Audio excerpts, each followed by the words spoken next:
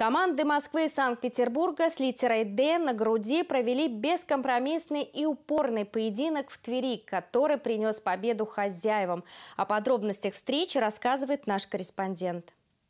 Начало поединка двух «Динамо» на Тверском льду 19 декабря вполне соответствовало предчувствиям болельщиков по поводу количества заброшенных шайб. Игра началась на приличных скоростях. Команды быстро преодолевали среднюю зону в поисках удачи в атаке. Хоккеисты из Санкт-Петербурга чаще угрожали воротам Вадима Жиренко. Как следствие, 10-4 по броскам в створ в пользу гостей. Но голов не случилось.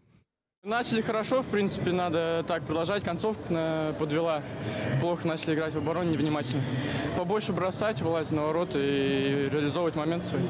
После перерыва хозяева попытались перехватить инициативу, однако предложенный темп подопечным Ярослава Люзенкова удалось сохранить минут на пять. Ближе к середине периода динамовцы с берегов Невы вернули себе преимущество, контролируя шайбу и подолго комбинируя в зоне москвичей. Перед перерывом качели снова вернулись к хозяевам. Но вратари команд, очевидно, переигрывали нападение. 0-0 по итогам двух периодов.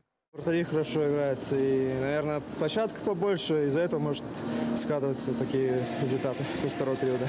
На экваторе заключительной трети хозяева получили супер шанс. Минута с лишним в формате 5 на 3. Макар Чуфаров вместе с тремя партнерами справились с задачей. Затем петербуржцы играли в большинстве. Но также безуспешно. Дело дошло до овертайма, в котором Вадим Жиренко дважды спас свое «Динамо». В серии после матчевых бросков москвичи Семен Баринов и Олег Зайцев реализовали свои попытки, а Вадим Жиренко Сидоренко к Сухарю в игре добавил ноль пропущенных шайб в булитной перестрелке.